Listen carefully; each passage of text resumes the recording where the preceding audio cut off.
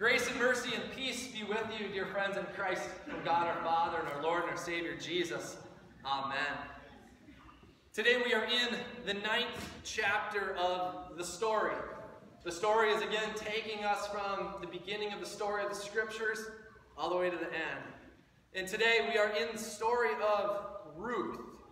Ruth is uh, a small book in the Old Testament a small book. It's just four chapters long. So actually, if you were reading it in the story version of, of, of like the, the, book that we have, uh, you're reading almost the entire thing. You could probably read it just as fast right from the Bible itself. So I would encourage you to do that as well. The story of Ruth is just four chapters long, and the story of Ruth uh, is short enough that I would actually like to uh, just retell this story to you very briefly, uh, because some of you may not have had the chance to read it, but we always need to hear these things again. So I want to tell the story quickly, and then we'll, we'll apply it and put some, put some skin on it. Okay? So the story of Ruth occurs during the time of the judges. Last week in chapter 8, we were in the time of the judges. All right, that's quite a time frame, but the story of Ruth takes place somewhere in there. There was a woman named Naomi and she and her husband and their two sons lived in Bethlehem. You've heard of Bethlehem before because that's where Jesus is born, right? So Naomi and her husband and their two sons live in Bethlehem, but there's a big famine that's happening there at the time. And so uh, they did kind of what was customary. When a famine happened, you needed to go find food. And so they left Bethlehem. Bethlehem is in modern day Israel. They went a little bit to the west, crossed the Jordan River into a region called Moab. Not that far away, but a little more mountainous region. And so that's where they went and they lived there for a while. Naomi, her husband, and two sons. The two sons, while they were there, got married to, to Moabite women. One's name was Ruth and one was Orpah, not Oprah, Orpah. Okay? Ruth and Orpah, married to the two sons of Naomi. Well, during this time, we don't really know why all of the men died. Naomi's husband died, and their two sons died.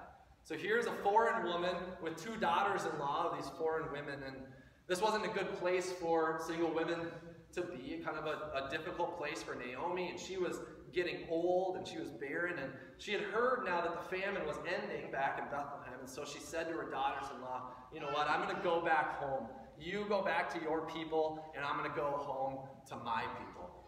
Orpah took her up on the deal, and she went home, but Ruth said no.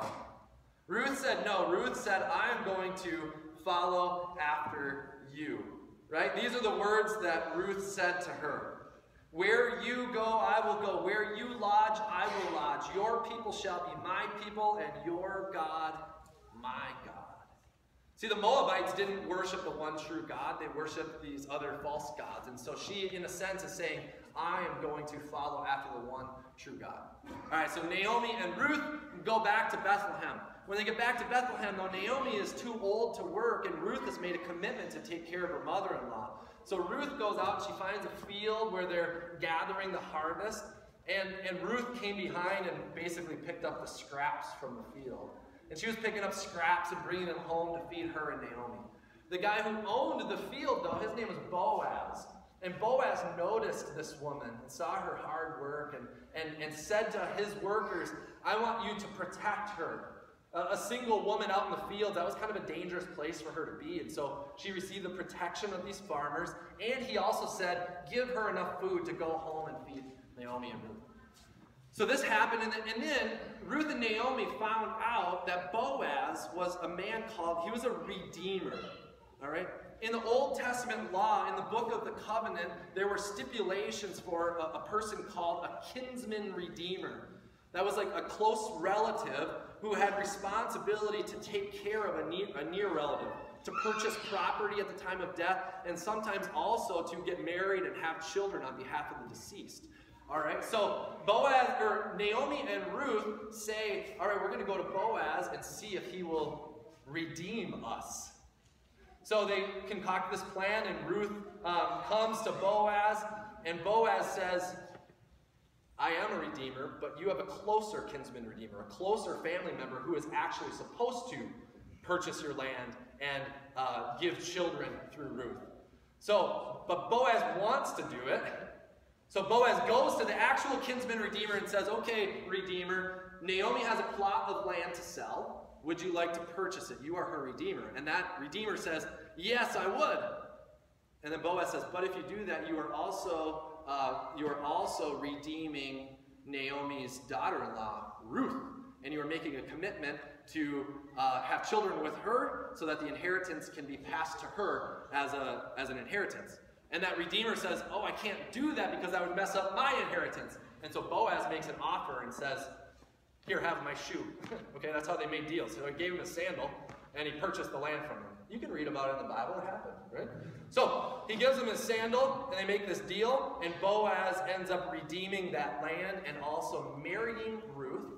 And through Ruth and that marriage, they have a child. They name him Obed. Obed has a son named Jesse. Jesse has a son named David who will become king over Israel. In this story, in this story, we have a few key themes that I would like to talk about and how that will actually play out in our lives as well. The first key theme that I would like to look at is this the kingdom of God is for all people. The kingdom of God is for all people. Boaz is an Israelite, Ruth is a Moabite. The Moabites did not worship the Creator Yahweh, okay? They didn't worship the one true God, they worshiped other gods. Technically, Boaz probably shouldn't have even married Ruth, but somehow, through this unique marriage, through this mixed marriage of races and religions, God actually worked his plan. Because not only is Ruth the great grandmother of David, but also as we read about in Matthew chapter 1, the genealogy of Jesus, this also puts Ruth in the lineage of Jesus himself. You know what this means? The kingdom of God is for all people. The kingdom of God is for all people. God came to purchase and win back all people. God created all people, and his love is for all people. The second key theme is this unity comes through redemption. There was this story again uh, of Boaz being the redeemer of Ruth and Naomi, right? He, he purchased them with money. He bought them back. He united himself. Boaz didn't have to do this. Boaz was a pretty wealthy guy with, with, a, with a profitable estate. And, and Ruth was a widow, a poor foreign woman. For him to humble himself and redeem her was quite a great act of humility. Unity in that marriage comes through the redemption that Boaz offers. This idea of the kinsman redeemer throughout the Old Testament is a foreshadowing of what it is that Jesus does for all of us. God redeems the whole world to himself through the sacrifice of Jesus Christ. Redeeming, purchasing, winning us back. If it were not for Christ, we are held captive by sin and death and the power of the devil. And God has redeemed us through Jesus Christ, not with gold or silver, but with the holy and precious blood of Jesus Christ and his innocent suffering and death for us. Unity in the body of Christ comes in the fact that all of us in our sin have been united with God through the redemption of Jesus Christ. The kingdom of God is for all people. Unity comes through redemption, and therefore, the third key theme is this that we as God's people are called to live in humility and grace with the whole human race. Humility and grace, this story is filled with humility, right? Naomi says to Ruth and Orpah there in Moab, she says, no, no, no, go back home. Naomi is, in a way, humbling herself. She needs their help. But she says, no, no, no, it'd be better for you to go home. Naomi's humbling herself. Ruth humbles herself because it would be better for her to probably go back home. Yet she says, No, I will serve you. I will serve your God. Ruth humbles herself. Boaz humbles himself, this wealthy man, taking a poor widow to be his wife. Humility and grace is offered. We, as God's people, redeemed by the love of Jesus Christ, are called then to live in our humility, offering the grace of God to all people. You think about these three key themes. How applicable and necessary is this for us in our present day context? To remember that God's kingdom is for all people, that unity only happens through Jesus, and that because we've been united with Christ, we live in that grace and humility. These are practical truths for us in our lives right now. You know, this world, I don't have to tell you this. You know how divided this world is right now. You know of all the various opinions, perspectives, dissensions, disagreements, disappointments that exist in this world, and particularly in this society right now, right? You're very well aware. And, and the problem, I believe, is that we are all confident that we are right. At least I know I'm right. Right? I told you a story a couple of weeks ago. Um, I think it was I think it was on the day that I that we installed Marcus uh, about a month ago. I told you a story about um, how stubborn I am. And when I was a little kid, I think I was like three or four, and my, my mom uh, tried to get me to wear a yellow crayon sweater for school pictures, and I kicked and screamed and yelled on the floor. Maybe it's coming back to you now, and I didn't want to do it, and you know how it goes, and I haven't changed all that much, but um, my mom won the, the argument that day, and I wore the crayon sweater, and some of you have been asking for proof of it, so here you go.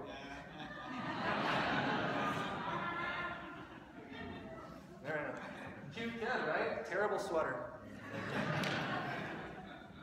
So my mom won, right? She got that sweater on me.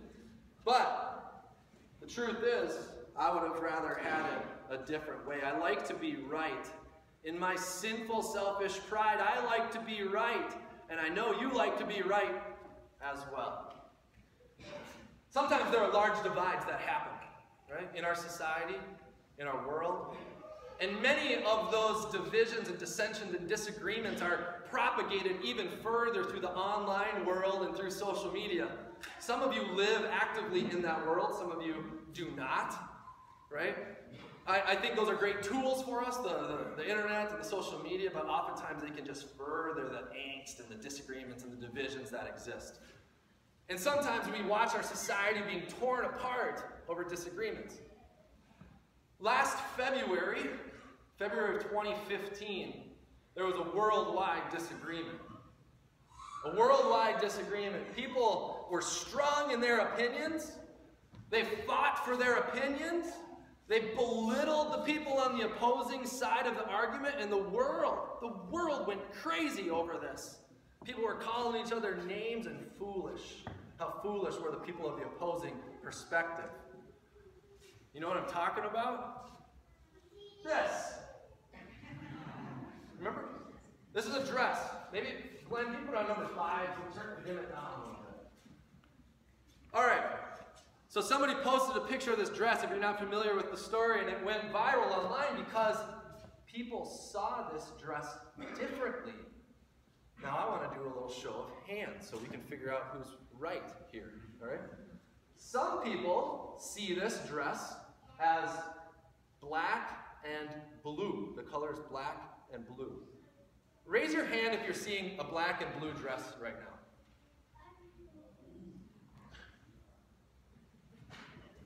The other option is gold and white. Raise your hand if you see gold and white. Okay, put your hands down and I will tell you who is correct because you're going to side with me. It's gold and white. All right, Glenn, pull, pull the lights back up. All right. I'm serious. I cannot see blue and black on that thing. I look at it, I stare at it. It's gold and white. The real bummer of the deal is the dress is actually black and blue. But it's not. Is it? Isn't that crazy? Half of you are half of you are seeing it black and blue, half of you are seeing it gold and white. I don't know how it works. It's science, I guess. Some of you can figure it out, right? Isn't it amazing? You know, if you were to have a debate with the person next to you, you would say, You're crazy. It's black and blue. No, it's blue and white, right? Isn't it amazing to watch as we so quickly divide one another? Now, this is obviously a silly little example. You can take that down, Glenn. We know, though, we know though that there are much more real, prevalent examples of the division and the dissensions that exist in this world. And this last week, and this last week was pretty tough. This last week was tough on our on our country, on the world, right? A presidential election has turned into quite a serious battle, right? Quite a serious battle. We've, we've heard what we've heard. We've, we've heard people say nasty things. We've, we've seen people do nasty things. We've seen people fight and bicker. We, we watch candidates say things. We've watched their followers say things. You and I have said and done things. You watch this major division and dissensions happening. We watch crude caricatures of the candidates being portrayed, however true or not they might be. Friends, I don't really know what to say other than to simply say that this is a broken world. It's a broken world in which we live. It is a broken world in which we live, and Satan has a heyday when he watches us drive one another apart. But here's the reality of the situation God is in control. He is. He's sovereign. He reigns from beginning to end. And, and I'm not here to preach politics to you. That is not my goal. God has given to you a faith to trust in Him. He's given you a rational mind to think and to go and vote. And I pray that you did that prayerfully. Right? And that's enough. I am here. I am here to tell you and to proclaim boldly into your life that no matter how it seems or what it seems, God is 100% absolutely in control. He is. Jesus is Lord, ruling and reigning now until the day that He comes again. God has it under control. He does right now and forever. Now, we are not little pawns that God moves around on his chessboard. He gives us a free will to think and make decisions, but that doesn't relegate him. It still means that he's sovereign. However, that makes sense. It probably doesn't, but it's true. It's true. God is in control. God is in control. And even when we read the scriptures, friends, we've been reading these stories from the Old Testament do you know what kind of people God has been working through? Pretty crummy people. Pretty messed up people. Moses was a murderer. People were doubting, complaining, prostituting themselves, killing one another, worshiping false gods, and God chose them. These are the people that we claim to be biblical superheroes. God works through them.